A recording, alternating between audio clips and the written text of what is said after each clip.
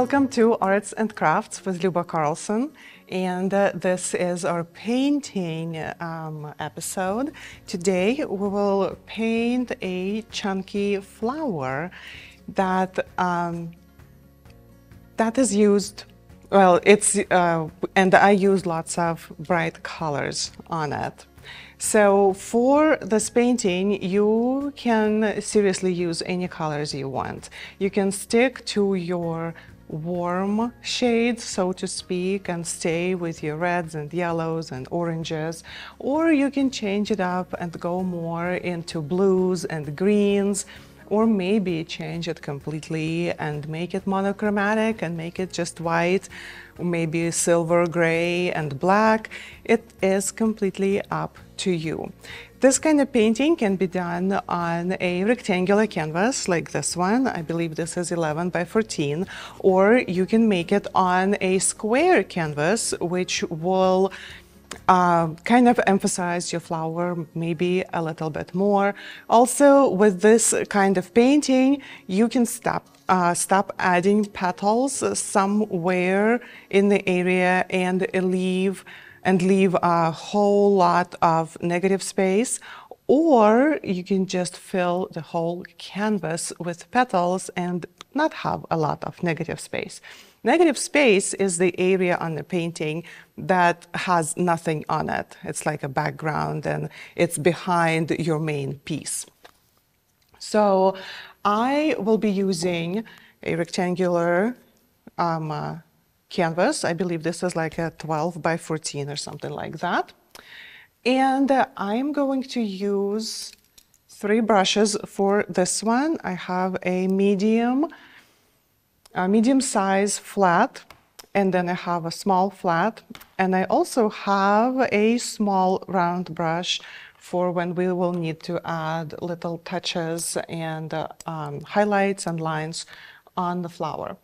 To start with this, I'm going to decide first if I want to paint in my portrait position or change it to landscape. It's absolutely up to you. I think I'll do a landscape. I think it will look a little bit better. And then I'll use my pencil and I will start creating uh, concentric areas of uh, petals. So my center, I want to put somewhere in the corner. I do not want to have my center smack in the middle because when you do that, then you have to really be uh, mindful and careful about making it symmetrical just enough. And so it kind of steals a little bit from your flower because there is really nothing else to look for. You just look at it and it's a flower, right? So I think I'm going to put my center a little bit up higher here, right in this area. And I will create a center that is not round, but an oval, okay? So here we go. It doesn't really have to be anything super hard or specific. Just create some sort of a circular shape for your center. Then I decide how big my petals are going to be the first round, um, how tall I want them to be. So probably about here. And so with that, I'm going to add another circle. It doesn't need to be exactly uh, same distance from the center on every side. It can be very organic and very uh, free moving, okay? Now let's do another one. This side maybe I'll have it right here. That would be my next layer of petals. So that gives me two. And it looks like I'm gonna take a whole lot of space here and not have a lot of uh, negative space, and that's okay. So I will use probably this much right here for my third circle, for my third, third layer of petals. Okay, now I'm gonna go ahead and decide how many petals I would like to add to my uh, first layer. So depending on that, I will break up my circle into a certain number of sections. So let's say if I wanted just four petals, I would go from the center and make marks on the top, on the bottom and then on the sides, just four marks. And that would help me create pretty large petals that would take this whole space. If I wanted five petals, I would try and remember how I draw a star. And I would start at the bottom. And let's say, let's put this dot here and then go up for my star and down and across and across. And this way I have five spots and then I'd fit my petals in between those spots. Um, if you wanted six, it's also pretty straightforward. You have one on top, then you add one on the bottom, and then you break up the sides into threes and you add two more on each side. Uh, for eight, it would be you'd start like four and then you add four more in between of those that you already have. So whatever you choose, or you can just freehand and put whatever you liked here, whatever number you want, whatever number you want to fit. Another thing is that the shape of the petal really doesn't matter. You can create, you can make them sharp pointed, you can make them uh, shaped like this. Whatever shape you choose really doesn't matter. It will work either way. So I'm going to go with uh, five petals here. So I'm just going to start here um, at the center and go up and then like make a wave down back to the dot and just bring it back to my center. And I'm going to repeat that and I'm perfectly fine with the fact that my petals may not be the same size because this is very organic piece and it really doesn't matter if things are the same size here. Okay, so I have my first layer of petals. Now I'm gonna go do the second one. And for the second one, I'm gonna start my petals, gonna try at least, um, in the middle of the existing petals so that the new petal kind of goes in between the ones that I already have. So I'm just gonna go ahead, go to that circle, make a wave, and go back and do this again. And then it stops because I'm out of the canvas, right? But it should go pretty much over here. Then this will go up and I kind of pretend that there is a petal which will come back to me right here. And then here's gonna be another one going all the way up to this spot. So I'm just gonna go ahead and pretend that there is a petal right here, okay? And then the last, but not the least, right? The last circle, we're pretty much doing it the same way. You absolutely can change the shapes of your petals. You do not have to continue with the same petal all the way around, but I am going to do that.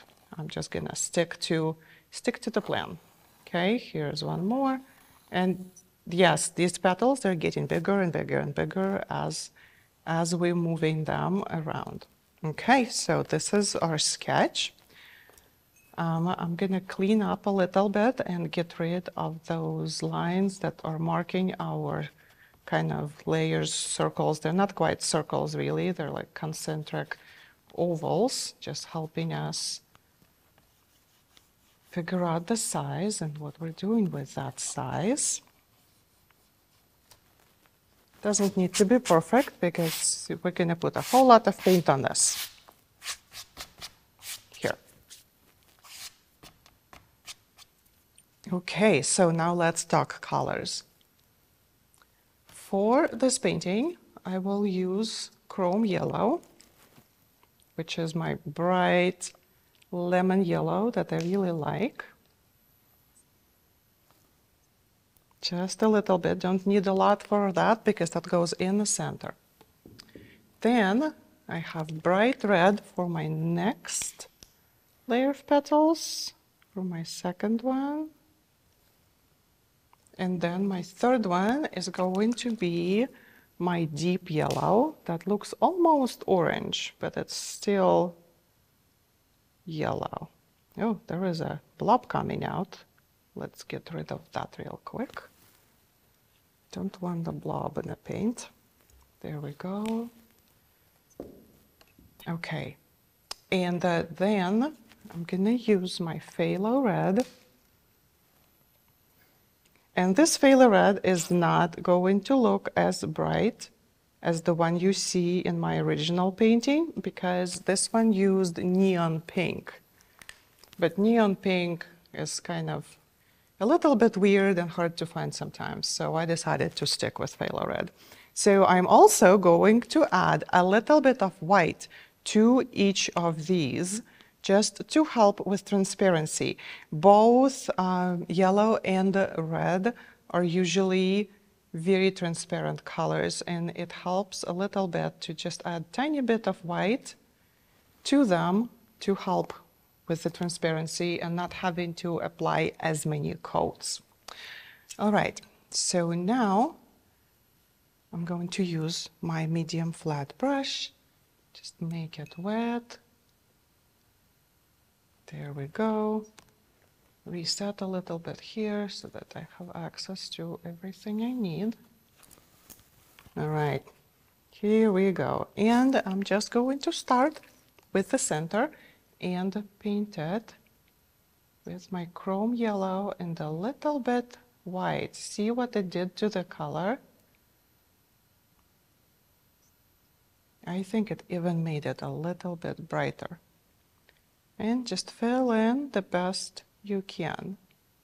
Don't worry if you get out of the lines a little bit, because we will have to uh, come back and add all the black outlining later. Okay, so this is all we need for the center. That's just a little bit. I'm just wiping my brush off and I'm gonna stick with the yellows right now. So I'm gonna skip the first layer flower uh, of petals and I'm gonna go to the second and paint it deep yellow. Also, let's mix that white in.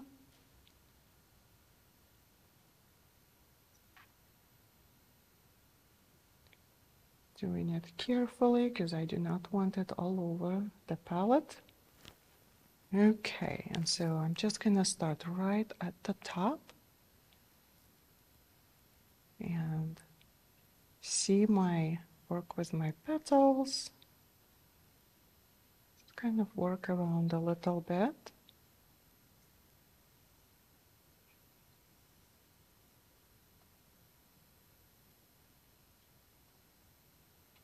Okay, and then in the areas where petals meet, um, uh, like here, right here, they meet, but they do not have any space showing the next petal. So I'm just gonna paint right over that and connect it to the next one, right? But in this area over here, I will save that little piece for my pink to show that there is another layer of petals, okay? You absolutely can wrap your petals around your canvas and kind of make them look like they're wrapped around and out. So with this uh, deep yellow, I would just need to go over here and paint the side where it touches it. The only uh, challenge with that would be when you're dealing with pieces like this, like little one, because you will need to figure out how far this petal goes, how far that goes, and where to put that um, next color on. So again, it's up to you. Oops, I went into a different layer. Oh no, that happens. Okay, so if that happened, wipe off your brush, make it wet again, go back and make it wet over here.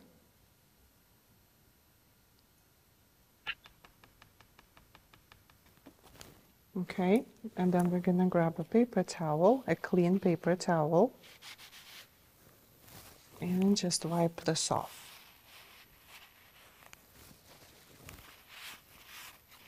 Okay, no big deal.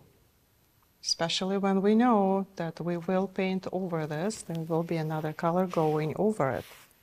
So absolutely no big deal. All right, let's continue going. Let's continue painting that. Goes right here.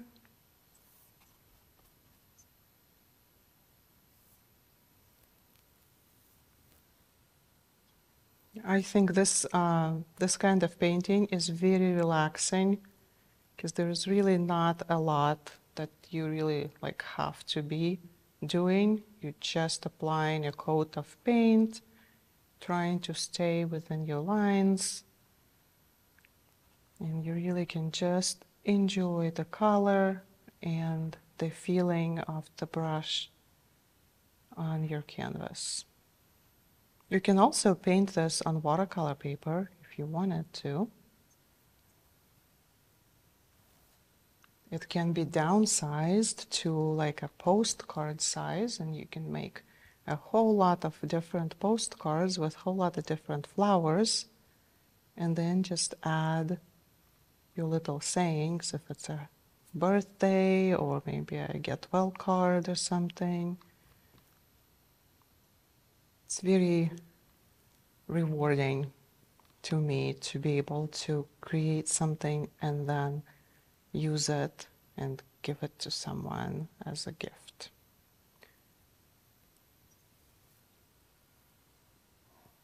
All right.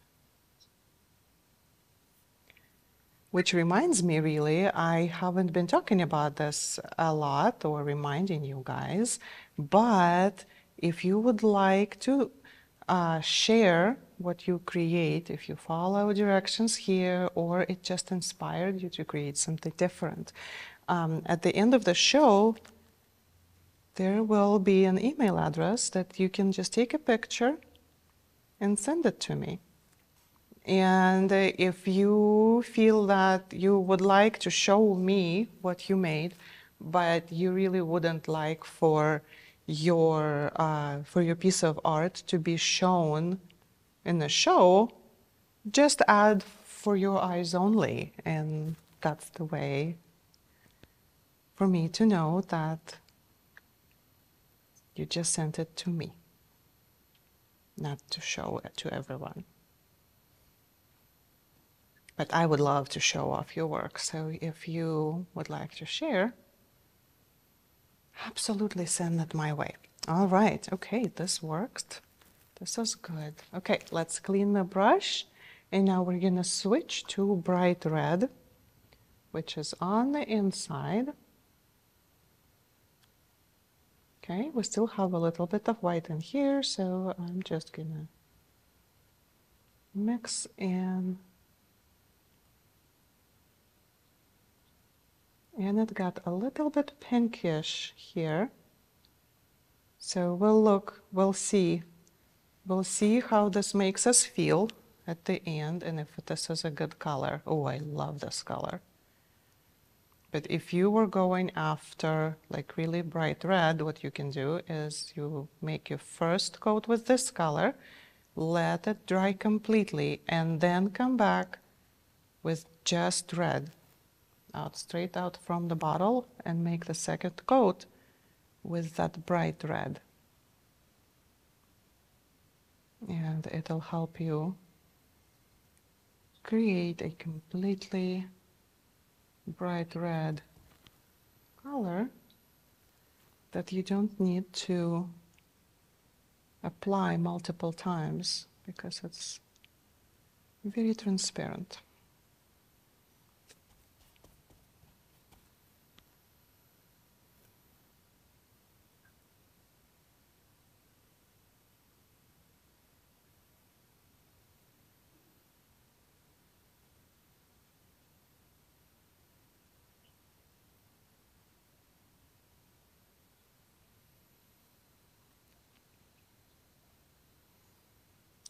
May um, it may seem hard to go around the lines and make sure you have good, good amount of paint on your brush.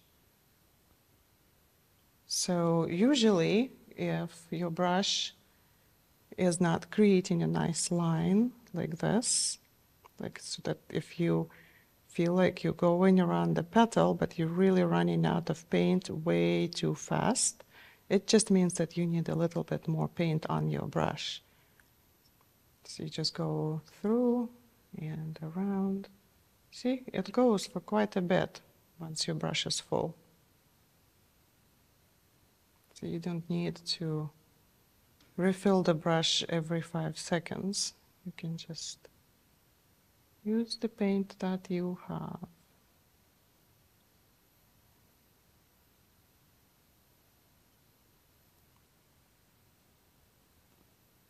As you can see, my center doesn't really look very perfect, right? There is a lot of areas that are not very round, but again, I am not going to worry about it because I will be coming back with black and I will have a chance to outline everything just the way I want it. And once we put black on it, the colors are gonna even stand out even more. Okay, so I'm coming back and just going from the center up just to make sure that my petals all have the right direction with the strokes.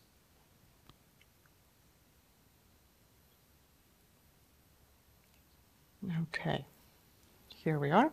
Okay, let's paint the next layer, which would be phthalo red with a little bit of white again.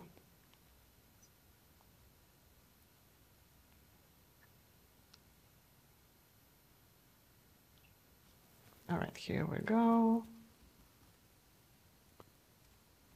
So when I do this, it really helps me bring my brush to the chisel tip point and then it's really e much easier to get in between the petals and just outline them. Just makes it a little bit easier.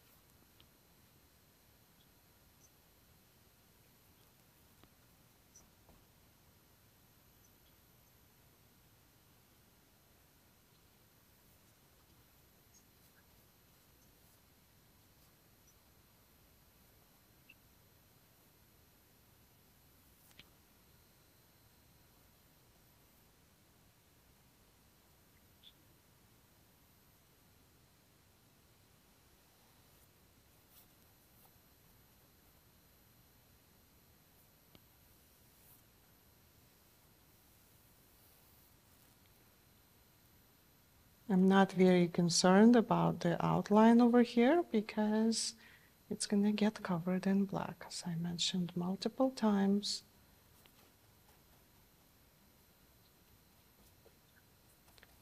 So just put your color in.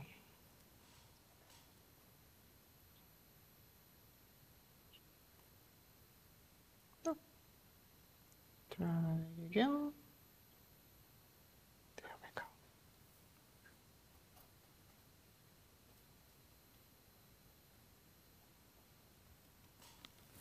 I'm to turn this a little bit.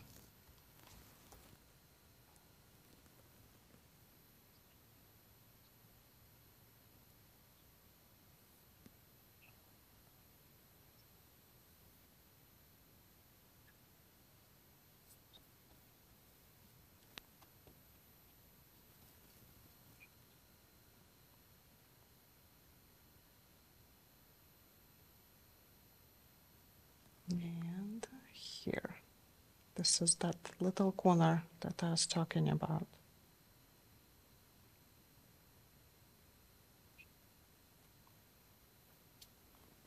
Okay, and now I'm going back and kind of making sure that my strokes are where I want them.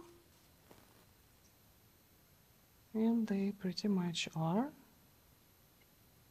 It's all good. Okay. And in the next episode, we will pull out the black and we'll do everything that we need to do to make this flower look even better. So we're just going to allow the paint to dry and uh, take a look at it once it's dry and decide if you want to add another coat before we go into black. Okay, until next time.